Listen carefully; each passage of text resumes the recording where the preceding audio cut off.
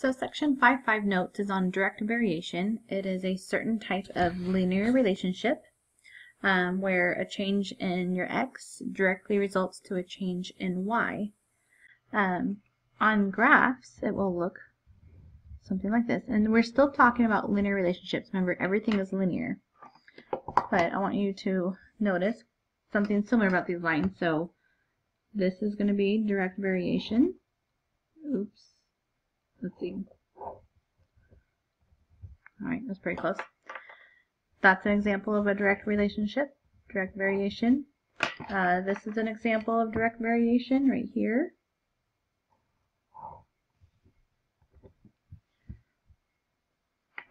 I'll draw another run here real fast and have you compare. Okay, so there's our three different uh, direct variation relationships. So what do you notice is the same about all of them? Yes, they all have a straight line because they all are linear. So I already mentioned that they are all are linear functions.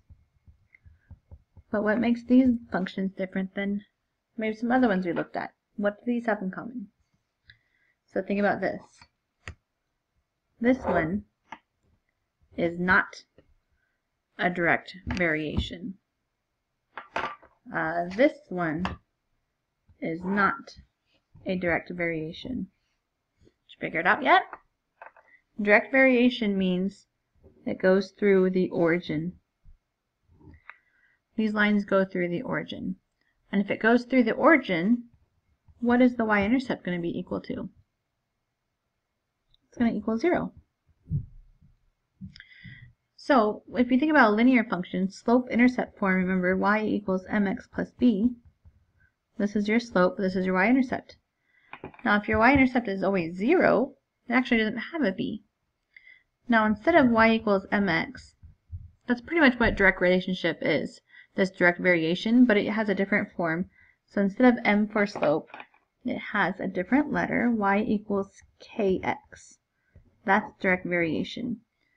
And k is called your constant of variation.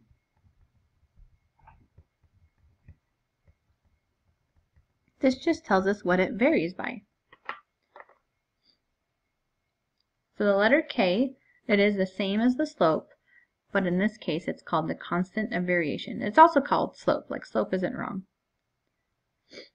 So we're going to have equations like this, where we have y equals 2x. So that means for every x value, I double it to get my y. So these are directly related. For example, if you think about this, if I make a little chart, when x is 1, y, if you take 1 times 2, you get 2. When x is 2, 2 times 2 is 4. When x is 3, 3 times 2 is 6.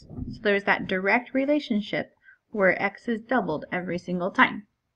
If it had a y-intercept, you'd add a number to that every time and it would change it a little bit.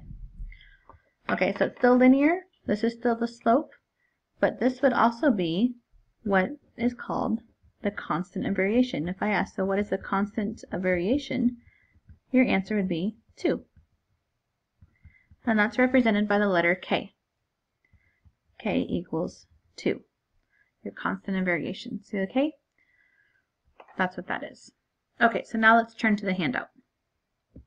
So this handout goes through some examples. So you can write here that this is our notes that we're doing. So tell whether each equation represents a direct variation. If so, identify the constant of variation. Okay, so here we go, y equals 3x. So direct variation is in the form y equals kx. So there's a number in front of x, and there's not a number after it. So this equation here, it is a direct variation. That's what we're going to fill in the box here. Because it is in the form y equals kx. And the constant of variation in here, the letter k, would be 3. Okay, now same thing for b. Um, this one, though, we have to solve for y. We want to get it in this form. Just like slope-intercept form, we're going to solve for y first. So on this side, I'm going to subtract 3x and do the same thing on the other side here. So this is step one here. We solve the equation for y. Since 3x is added to y, we are subtracting 3x from both sides.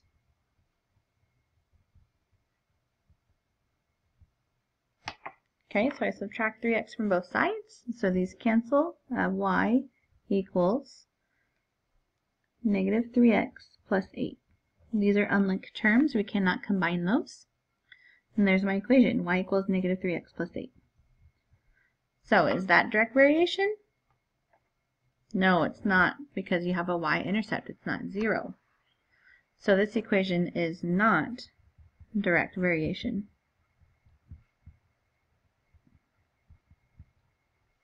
because it cannot be written in the form y equals kx. So it has this plus 8 afterwards, and that's why it is not direct variation. It can't have a plus or minus after our x. Uh, that's actually a good note to make, so I'm going to make that note here. You want to add, maybe add this here. You can't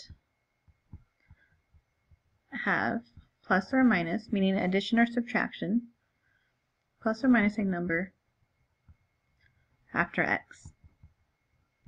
y-intercept has to be 0. Alright, on the next page, we're going to do the same process. So first, number 1, we're going to solve the equation for y. Since 4x is subtracted from 3y, now I know it says plus here, so it's a little confusing, but you always want to look at the sign in front. That's a negative 4x. We need it to cancel out to be 0. So to cancel out negative 4x, we add 4x. And then those will cancel out to be 0. We have to add 4x to the other side. So we're adding 4x to both sides. So these cancel, leave me with 3y. And then here I have 0 plus 4x, so I have just 4x on this side. So then here's step two. Since y is multiplied by 3, you have to do the opposite and divide both sides by 3 in order to undo the multiplication. So we do the opposite. We divide to undo the multiplication. Divide by 3, divide by 3, so those 3's cancel out. So then we have 4x over 3, or it's the same as just 4 thirds x. So is this direct variation? Yes, you just have a number in front of x. There's not plus or minus anything over here. So it is direct variation because it is in the form y equals kx. It's in that form. And the letter k is our constant variation is 4 thirds. Now we'll look at some other types of problems. So here we have a table. Tell whether it's direct variation or not. We're going to write an equation. So first we're going to look at the slope. And so you can do the change in y over the change in x, this equation here. And I can use this as a coordinate point and this as a coordinate point. So the second y minus the first y over the second x minus the first x. So y goes from 6 to 12, so that's a change of 6. And then it goes from 2 to 4. 4 minus 2 is 2. And 6 divided by 2 is 3. So that's my slope. And that will be 3x for a slope. And then, let's see, what would the y-intercept be? So once I have my slope, my y-intercept, so we have y equals, you can think mx plus b, and my m is 3. But how do we find the y-intercept? Well, what you can do is choose a point for x and y and plug it in for x and y to solve for b. Choose any of these points you want. I'm going to choose that one because it's small numbers. And I'm going to make my y this 6. So this y, oops, Instead of writing y, I'm going to write a 6 equals 3 times x. I'm going to choose this 2 because that's the coordinate point I chose. I chose the coordinate point 2, 6 here plus b. Now when I plug in x and y on a point, I can solve for b and figure out what the y-intercept is. So here I have 6 equals 3 times 2 is 6 plus b. So what does b have to equal? Well, you can think 6 plus what is 6?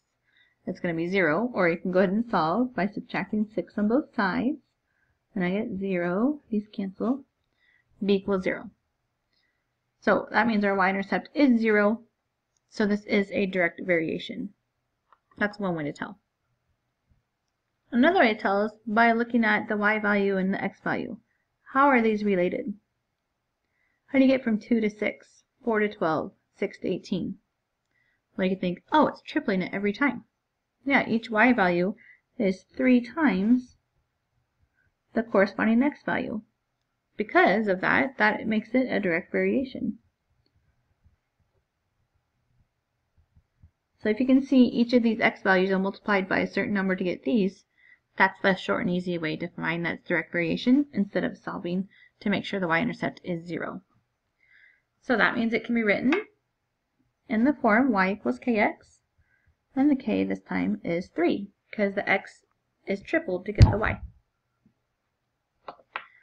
Um, another way to figure out the same answer is actually to just take this ratio of y over x.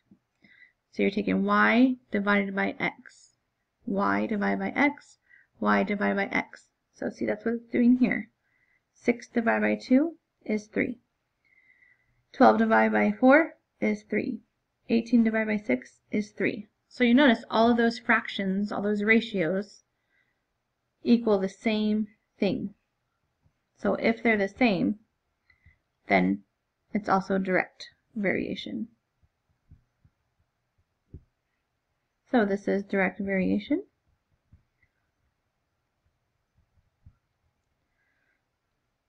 Because the value of y over x, so you take y divided by x in every part of the table, is the same.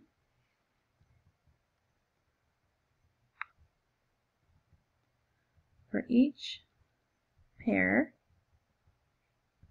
in the table. So that's another way.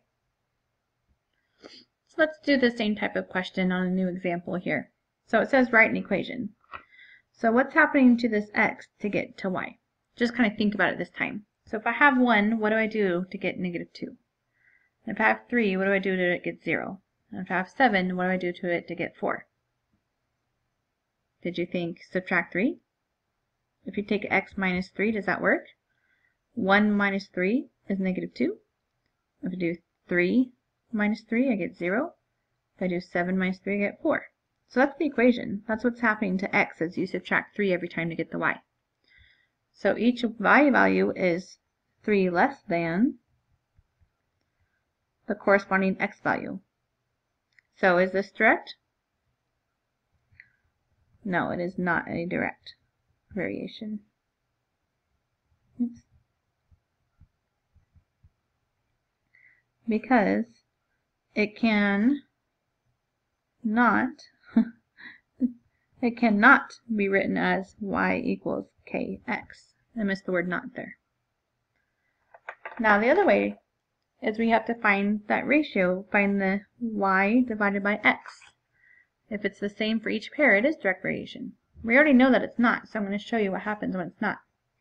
So again, y divided by x, negative 2 divided by 1 is negative 2.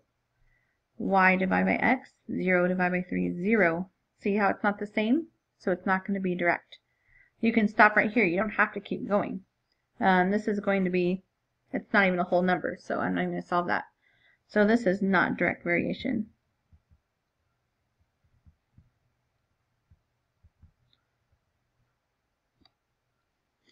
Okay, so I finished out that it's not the same for each pair, so it's not direct variation.